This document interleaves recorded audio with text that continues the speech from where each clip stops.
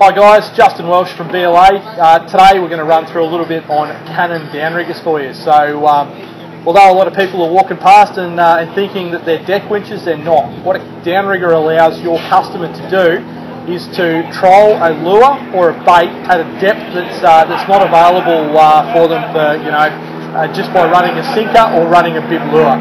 So a downrigger uh, comprises really three things. One, what we've got here, which is bolted to the, uh, the boat on a quick release bracket and sometimes a swivel bracket, which is an optional extra. A downrigger bomb, which is a large piece of lead weighing anywhere between 2 pounds and about 12 pounds. And off the back of that, we've got a release clip.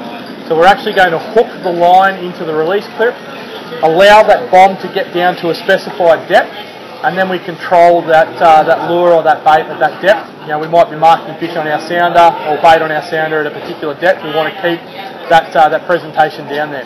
The Cannon downriggers come in two different options. We've got a manual downrigger, which is uh, manually uh, wound up and down, and we've also got our electric range of downriggers as well. Um, for more information about this product, jump onto our website, either www.bla.com.au or www.cannon.com.au and uh, you can get uh, more information from your BLA territory manager or of course give us a call on 1300 BLA sales.